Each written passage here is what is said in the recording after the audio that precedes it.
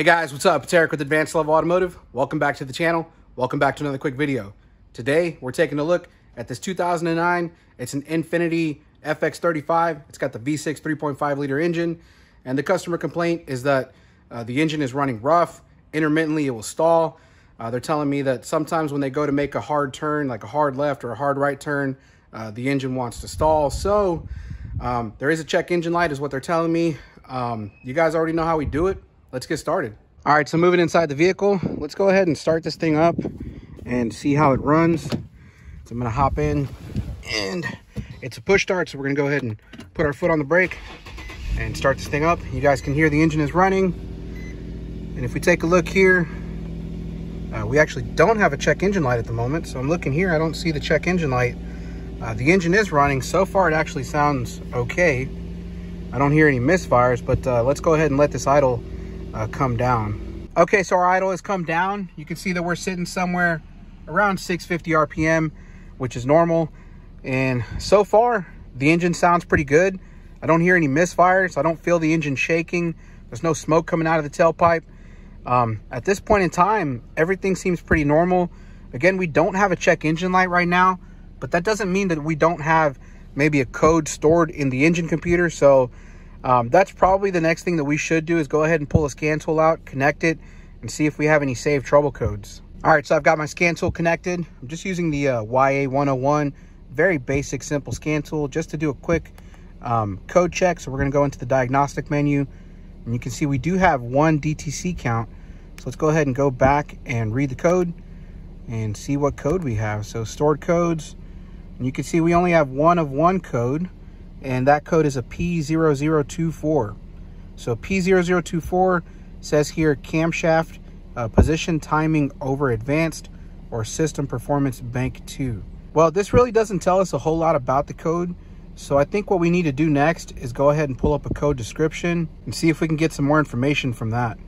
All right, guys, so I switched over to my other scan tool. This is my Launch X431 Pro 3S Plus.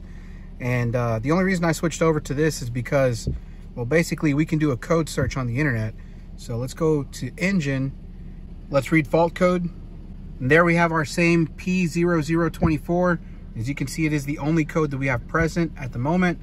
So let's go ahead and click on this code search. And what this is going to do is it's going to basically Google the internet and uh, hopefully we can pull up a code description. So here we have um, Google. And if we scroll down, Let's see if we can find a legit website. I think this one is good right here, autocodes.com. I tend to like this website a lot because it's pretty straightforward with the basic information that you're looking for. And so here, again, you can see our P0024 Nissan code, exhaust valve timing control performance bank 2. So right away, we know that essentially this code is dealing with the exhaust valve timing control and it's on bank 2. So let's go ahead and scroll down and it gives us here a list of possible causes. It tells us that uh, we could have a faulty exhaust valve timing control solenoid valve, which is pretty common on a lot of vehicles, you know, especially if they don't maintain their oil changes. Sometimes those solenoids can get gummed up with a bunch of crud from old oil. And so you can have the valve mechanically sticking. So that's something that's pretty common. Uh, next up, you can see it says exhaust valve timing control solenoid valve harness, open or shorted. Of course, that's a possibility. Then we have the other possibility of exhaust valve timing, control solenoid, valve circuit, poor electrical connection, of course. Then it tells us here we could have a faulty crank position sensor or a faulty cam position sensor. So, you know, I guess this code is pretty straightforward. Um, it tells us here, gives us a tech note, since the exhaust valve timing control solenoid valve uses oil flow to control timing, Dirty oil can cause the valve to stick, open, or close. Before replacing the valve, change the engine oil and filter and reset the engine code. So, like I said before, you know, these things are common to happen um, whenever you have a vehicle that really hasn't been maintained that well and the engine oil is really dirty or maybe it has low engine oil because low engine oil can cause low oil pressure and of course these valves and all of the VVT mechanisms work off of oil pressure. So a lot of times that's the first thing that you want to check whenever you run into a timing code like this. So I think that's the first thing I want to go ahead and do. Let's move under the hood and check the oil. All right guys, so check this out. I've got the hood popped open and I came over here to pull the dipstick out, which you can see is located right here in the center. And uh, the first thing that I noticed before even pulling the dipstick out was how much corrosion we had on the engine. Look at the timing cover of the engine. You see it's covered on all of this white kind of crud. Yeah, that's, uh, that's a lot of oxidation for an engine to have. Now take a look at some of these bolts. Look at the bolts on the timing cover. Let me zoom you in a little bit on there. Look at how much rust we have on this bolt here for the sensor. These bolts over here, I mean, this stuff is completely oxidated and rusted. You know, that got me thinking whether or not it's a possibility that this vehicle has been in a flood. If you guys didn't know, down here in Houston, Texas, we have a lot of flooded vehicles, especially after Hurricane Harvey hit back in 2017. So there's a lot of these flood cars on the market. And so if you guys are planning on buying a car from down south, you know, there's a lot of things that I think you should take note of before actually buying the car because some of these flooded cars, um, you know, they didn't go through the insurance. They kind of flew under the radar. And so sometimes you might pick up a car, you didn't know it was flooded. And these things can have all kinds of electrical problems. I mean, just take a look at the amount of rust. Look at this hose clamp right here. You can see it's completely rusted. Look at all this corrosion on that throttle body. I haven't even taken this cover off. I mean, look at this mass airflow sensor. Look at the bolts. They're all corroded. Look at these grounds right here, especially the grounds, because these are so important. And when they're corroded like this, they don't make a good connection. That can lead to a lot of electrical issues. And there's a lot of different grounds on this engine and on the body. Again, look at this mass airflow sensor over here. You can see it's all corroded. I mean, the only way the bolts up here get corroded is from moisture up here or the water level being so high that it actually reached a certain point to where it got to these bolts right here. I mean, take a look at the frame here. You can see these strut mount bolts are rusted. I mean, all of this stuff is corroded. Oh, you can even see here on the frame, look at this rust. You guys see that? They couldn't even put a bolt back in through this hole because this whole frame here is rusted. So, yeah, guys, let me pop open this fuse box and see what it looks like in here. All right, so there's our fuse box. I mean, it doesn't look too bad. This is just one of the fuse boxes. There's uh, two other fuse boxes over there, I believe. So this is where the battery is located. Yeah, so we have this fuse box right here. You pop this cover off.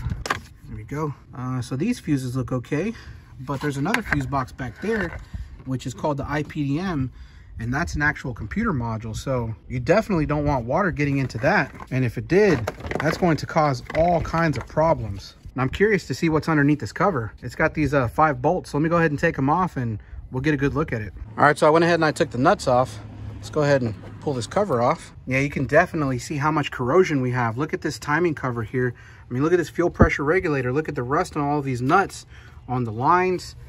I mean, geez, this thing has a ton of corrosion. I mean, I don't think there's one little bit of steel that isn't corroded. Look at the hose clamp on this evap. I mean, that hose clamp is completely rusted. I mean, take a look at all of this dirt here. It's possible that could have been road debris, you know, being picked up over the years, but you know, taking a closer look at this, this definitely looks to me like this was from flood water. I mean, look at these clamps on this air box.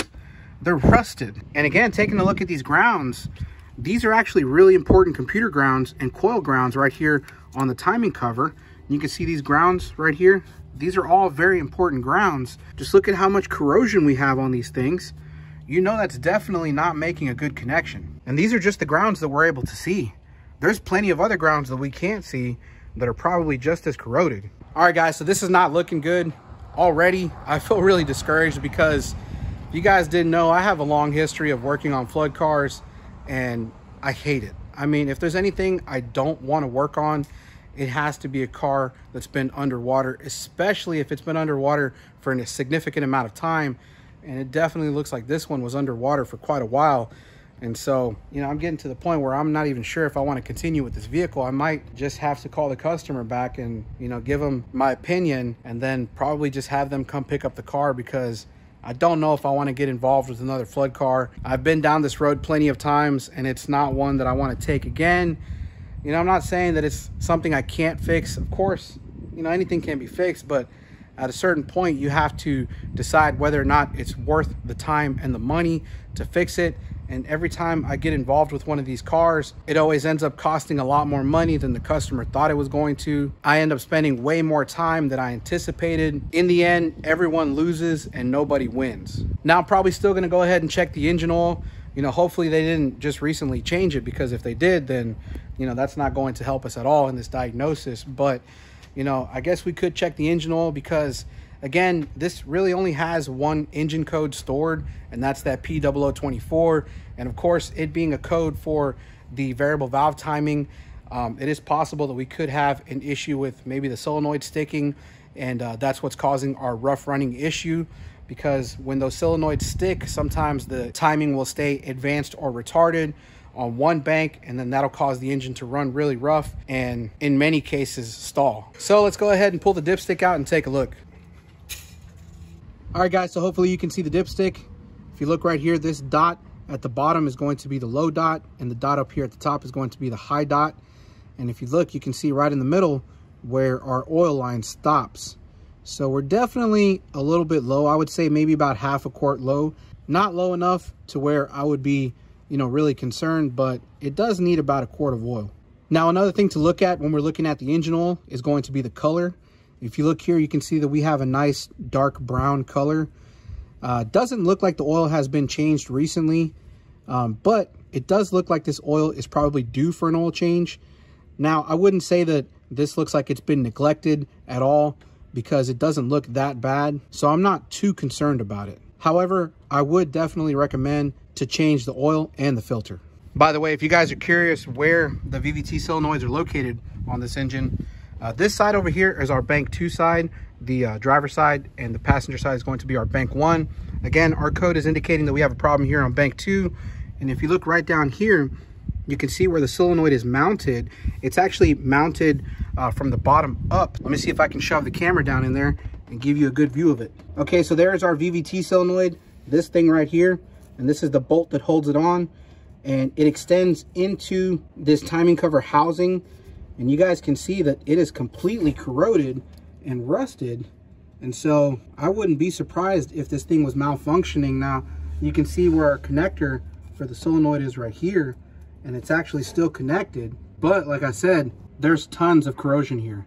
Now taking a look at the other side you can see that we pretty much have the same thing going on here. So I'm going to point it out to you. It's right over here. This is our VVT solenoid it's sticking in kind of sideways into this housing here. But yeah, if you look at the connector, you can see the connector here, and this is the solenoid itself. And again, look how corroded it is. And then there's another ground that we have right here. Again, a very important ground. And just look and see how much corrosion we have on those bolts.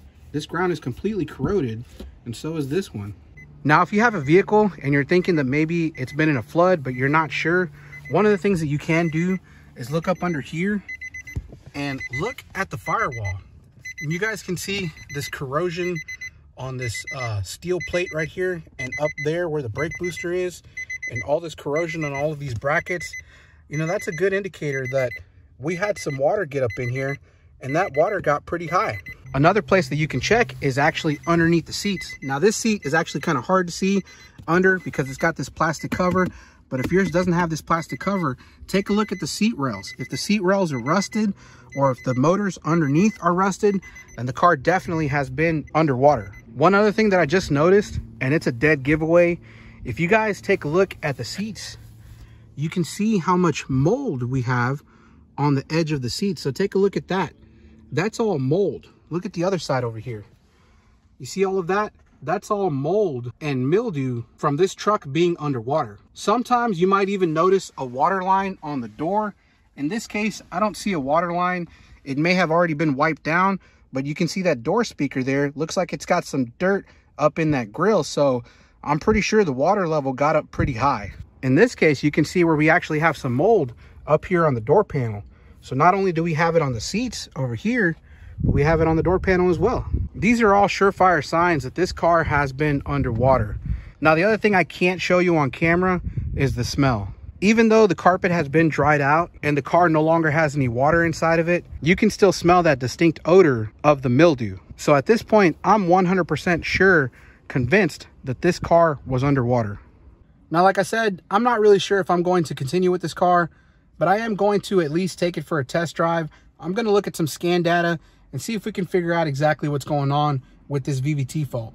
All right, guys, so before I go on a test drive, I want to take a quick look at some data PIDs just so that we have a better idea of what's going on here.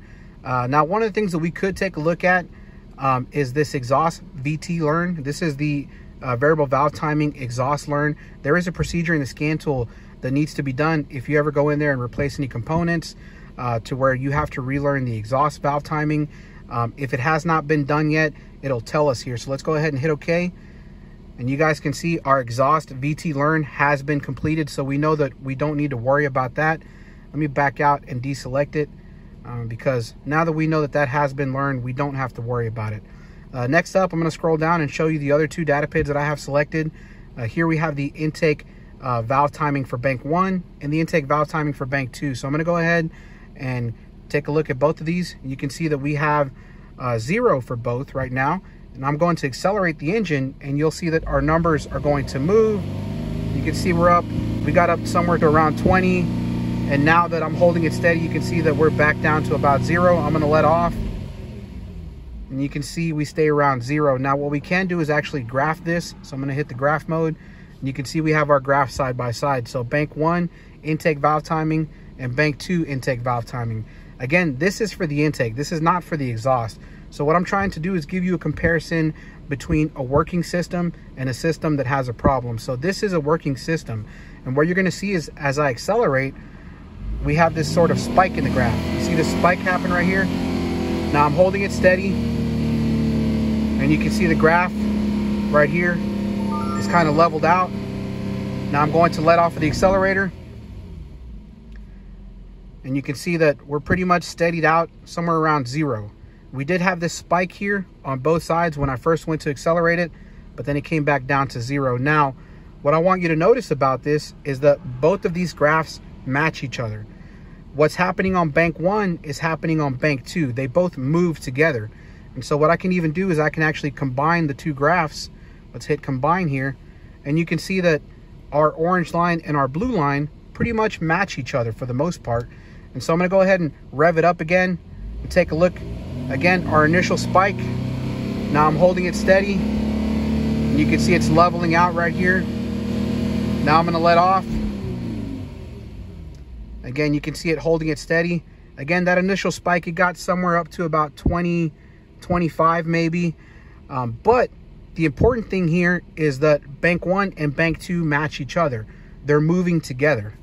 Now let's go ahead and back out and let's deselect these Let me scroll down here. We're going to deselect our intake and then we're going to locate our exhaust.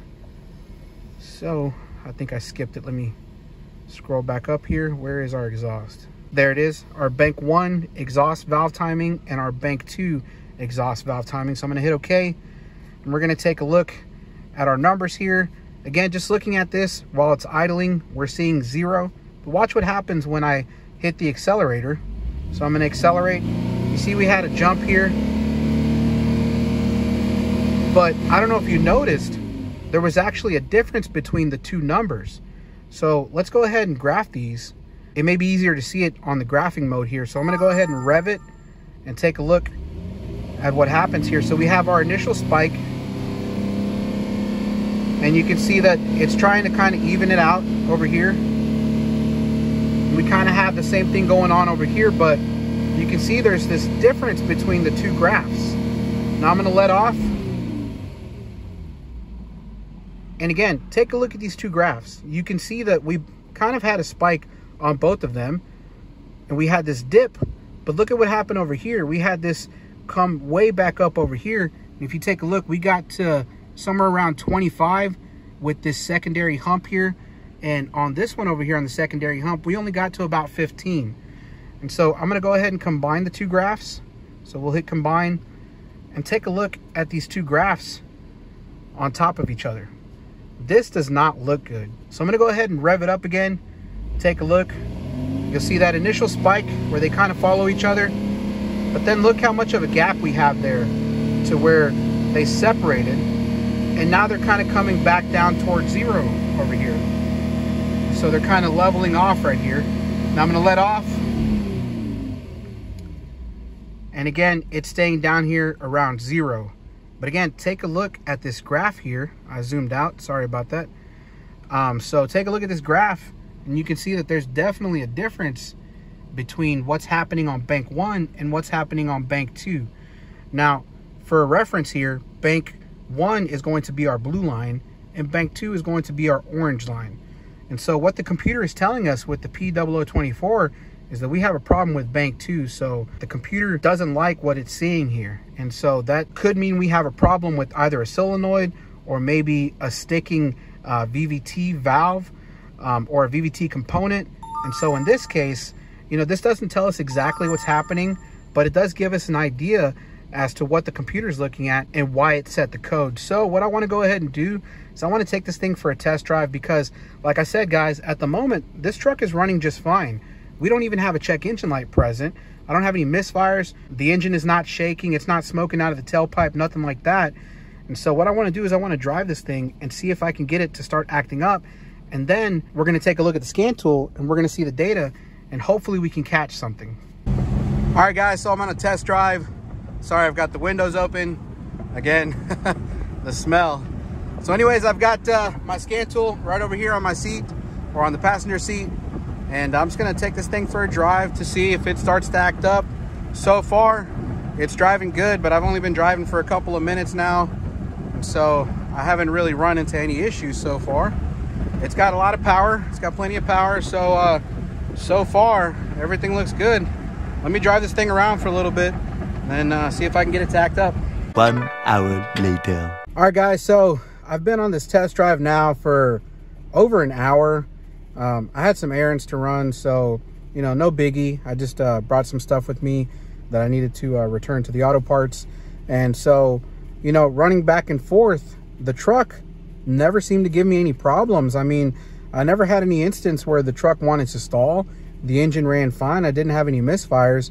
I mean, the only thing that I could say is that uh, there were sometimes moments of hesitation when I would go to accelerate, but it was never anything, you know, major. And so at this point, um, I'm not really sure what to think. You know, I guess what I was hoping is that, you know, I could recreate the problem and then I would be able to see on the scan tool whether or not that problem was related to our timing because um, what I was hoping to see was that when this engine would start to act up on the scan tool, I was hoping to see that maybe one of the two banks, bank one or bank two would be stuck either retarded or advanced. And then that would give me the proof that I needed to say, okay, this problem is timing related. Of course, that didn't happen. The truck ran fine. And so at this point, I'm not really sure if I can recommend replacing anything at the moment because uh, quite honestly, I don't think that replacing the VVT solenoid is going to fix anything because uh, now that I remember on this design, the solenoid itself that I showed you guys earlier um, I believe, if I'm not mistaken, that only controls the intake valve or the intake valve timing. The exhaust valve timing is actually controlled by a magnetic piece inside of that cover that's bolted to the timing cover. Hopefully I'm explaining that correctly, but let me see if I can pull up a diagram or a picture of it so I can show you guys what it is I'm talking about. All right, guys, so I've got ALLDATA pulled up on the screen, and what we're looking at is the code description uh, for P0014 and P0024. EVT control codes. Now, these two codes are related to each other. Essentially, they mean the same thing, but for different banks. So the P0014 is for the bank 1, and the P0024, which is the code that we have, is for the bank 2. Now, if we scroll down here, I'm going to click on this. Uh, this is going to give us some more information. So again, if you look at the P0014, it tells us it's for the exhaust valve timing EVT control performance of bank 1. And then, of course, the P0024, which is the code that we have present, uh, it says exhaust valve timing EVT control performance for bank 2. Now if you look here, the DTC detecting condition, it tells us that there is a gap between angle of target and phase control angle degree. Now if we look over here, you can see that we have some possible causes. Uh, first of all, we have a crankshaft position sensor could be a possible cause, camshaft position sensor, EVT control position sensor, EVT control magnet retarder, which is one that's really important. We'll get to that in a second um, accumulation of debris to the signal pickup portion of the camshaft, uh, timing chain installation, EVT control pulley assembly. Now, the reason I mention uh, the importance of the EVT control magnet retarder is because I actually have run into this before in the past, and it's actually a pretty common problem with these Nissans and Infinitis that use an electric uh, magnet to control the variable valve timing of the exhaust cam. Now, when I say this is a common problem, I mean, take a look at ALLDATA here. I'm going to take you guys to the home page. And what I noticed here down on the uh, bottom right hand side of the screen where it says community repairs, uh, one of the first ones that pops up here is about malfunction indicator lamp reported with code P0014 and or P0024 runs rough. So I'm going to click on this right here and I'm going to show you guys um, that this is actually a pretty common problem. So if you look at this uh, diagnostic bulletin, it gives us some information about how the system works. Um, it tells us that the ECM sends on and off pulse signals or duty cycle signals to the exhaust valve timing control magnet retarder, and this makes it possible uh, for the timing of the exhaust valve to increase engine torque and output in range of high speed. So it's some pretty useful information, but if you scroll down here, um, they do tell us about possible causes. And again, this EVT control magnet retarder is a very common problem. And so if we scroll down here, you can see that we have some technical uh, hints. It tells us here on this hint specifically that some technicians have reported that the magnetic gear portion can wear, causing the air gap to increase or become uneven, causing these codes to set. They're also mentioning the EVT control retarder part of the front timing cover. So this EVT magnetic retarder is built into a cover that's bolted onto the front of the timing cover. I'm going to show you guys a picture of that in a second. There's a picture of it here, but it's not a very good picture. So I'm going to scroll down real quick, and I'm going to show you guys um, there are some verified fixes from quite a few people. Uh, you can see here that they uh, said, uh, great bulletin, made finding the solution so easy. We had the same DTCs, P0014 and P0024 on a 07 Infiniti G35. Replacing the exhaust cam magnetic retarders fixed our problems too. And again, there's another one down here. Uh, this guy says for a 2011 EX35 all-wheel drive, P0014 and P0024 set, uh, tech inspected, found the EVT control magnet retarders faulty, replaced both assemblies, cleared the codes, road tested to verify, and fixed. So when I say, guys, this is a common problem, it really is. I mean, so much that there's actually a technical service bulletin directly from Nissan about this problem. So I'm going to switch over and show you guys that there's a technical service bulletin but the interesting thing about this is if you look at it, the technical service bulletin says it only applies to 2009 through 2012 Nissan Maximas. Now, I'm not sure why they're saying this only applies to the Nissan Maxima when there's a multitude of different Nissan and Infiniti vehicles that use the exact same engine with the exact same design. And so I can scroll down here and show you, but essentially um, what this bulletin is telling you is to go ahead and replace the left and right cylinder banks exhaust valve control magnet retarder. And so when you have this P0014 and P0024, according to this bulletin, the action is to replace both of the exhaust valve control magnet retarders.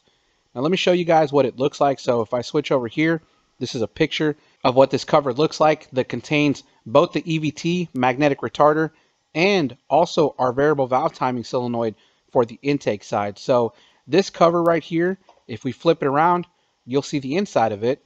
And if you look right over here, you'll notice that we have this uh, piece that protrudes. So what this part is for is it actually gets inserted into the intake cam. And so this variable valve timing device right here, the solenoid, which is, like I said, you see typically on most vehicles where the VVT is controlled by oil pressure, that's exactly how this works. So this solenoid extends into this housing and it controls the amount of oil flow and that's what controls the variable valve timing for the intake cam. Now when we look over here to the left, this circular piece right here is what is called the exhaust valve magnetic retarder. And so what this is, is this is much like an electromagnet that you find on an air conditioning compressor clutch. And so this is basically a magnetic coil. And if you look right down over here, you can see that we have some wires extending out toward the top of the cover here, and then it connects to this blue plug that extends to the outside of the cover. And so the way this works is that the ECM is going to supply a voltage and a ground, and that's going to energize this magnetic coil here, and it's going to work with the cam phaser on the exhaust cam to advance or retard the timing. And so if we switch over here, we can see um, the piece of the phaser that's on the exhaust cam now, if we look at it on the engine, you can see right here um, this is where the cover gets bolted onto. So once we unbolt and remove this cover, you can see this is our intake cam here and you can see the hole in the center. That's where that nose that protrudes from the cover uh, gets inserted into right here in the intake cam because like I said, this intake cam is controlled by oil pressure and oil flow through the VVT solenoid, but the exhaust cam is not controlled by oil. The exhaust cam is strictly controlled by that magnetic retarder coil. Now moving back over to this technical service bulletin, that, like I said again, only applies to the Nissan Maxima for some reason. I'm not sure why they're saying it doesn't apply for other vehicles. If we scroll down here, what they're telling you to do is replace just the magnetic coil part. You can see our magnetic coil right there. What they're instructing you to do is actually remove it. This magnetic retarder comes with a piece of paper that you actually cut up into pieces and then you use that paper uh, to slide inside of this ring right here because there's actually a spring clip and so the paper um, I guess you put it in four different spots and that's going to disengage the clip in order for you to be able to remove this magnetic retarder. You can see how they're pulling it out of the uh, housing there. And then you can see where this magnetic retarder sits inside of the housing. And then you just install the new one, reinstall the harness, clip it back into the connector there, and uh, you're all done. Now the problem is, is that this bulletin, it's pretty outdated. And you guys are going to find it very difficult to even be able to locate anyone who has these magnetic retarders. And so if you look up here, you can see that in the parts information of the bulletin, uh, it tells us exhaust valve control magnetic retarder kit. And it gives us a part number here. You guys can see the Nissan part number, and that is for each individual one because you can see the quantity is for two. And so Nissan originally decided that the fix was to just go ahead and replace the magnetic retarder by itself.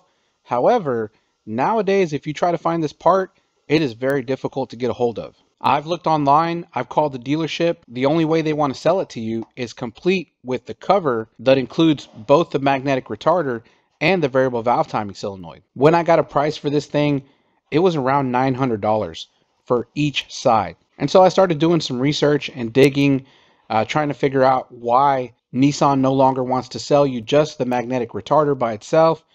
And some of the information that I found was a little bit uh, kind of vague. But essentially, what they were telling me is that uh, this cover can actually sustain damage from the magnetic retarder part. So what they're saying a lot of times is that just replacing the magnetic piece doesn't always fix the problem because the cover itself could be worn on the inside. And so I think at this point, Nissan decided to no longer offer just the magnetic retarder by itself. Instead, now you have to buy this entire piece. And like I said, it's about $900 and that is retail cost. I know list cost is somewhere around a thousand dollars. So these things are not cheap. So at this point, I'm going to have to talk to the customer and let them know um, that the part that we're recommending to replace is going to cost about $900.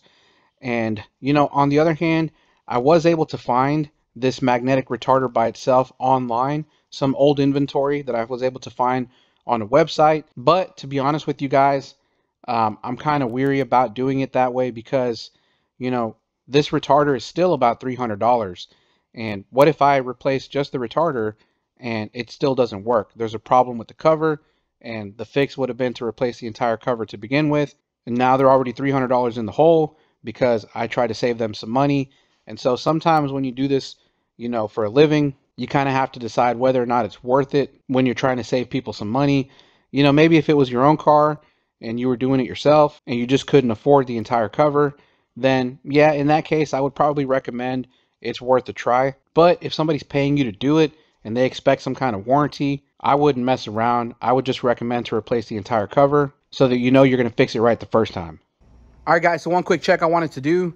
Um, I actually found a resistance specification for the magnetic retarder. So if you look down here, you can see um, I unbolted it so that I can get to it a little bit easier. But on pins one and two, I've got my two leads connected here on the terminals.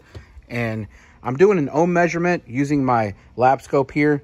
Um, now, if you take a look, um, the measurement that they're specifying is between 9 and 11 ohms of resistance. You guys can see we're at 10.5 ohms of resistance, so we're well within specification. Now, you know, just because you have a good resistance measurement on a magnetic coil doesn't mean that the coil is still good. You could still have a bad coil, especially if it's an intermittent problem like we have. You know, it may have something to do with temperature. Maybe once the temperature of the engine gets hot and then that magnetic coil gets hot, that's when it starts to act up. So in this case, me seeing this, you know, doesn't tell me that the coil itself is good. Then again, like I said, a lot of technicians, what they're saying is that the cover itself actually gets worn. And so it causes a gap between the magnetic retarder and the cam phaser itself. Too much of an air gap is going to cause issues with the magnetic clutch engaging with the cam phaser. So just because you guys see a good ohm measurement doesn't mean that the part can't still be bad. Anyways, guys, at this point, I'm gonna end out the video. Um, I spoke to the customer, I gave her an estimate, and as you guys can guess, she wasn't very happy with the amount of money it was gonna cost to fix this vehicle. Um, so naturally, she declined. Um, that doesn't mean that she's not gonna wanna do the repair in the future, um, but right now, with the holidays and everything, it's understandable that, um, you know, not everyone has the money to drop a thousand dollars um, to fix a flooded vehicle. On top of that, you know, I let her know that, of course, it being flooded, this truck is going to continue to have other problems, electrical issues.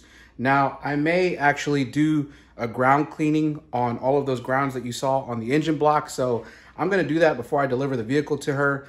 Um, but at this point, we're really not going to go any further with any other repairs. Now, if she does decide to do the repair in the future, I will do a video on it and I will update you guys.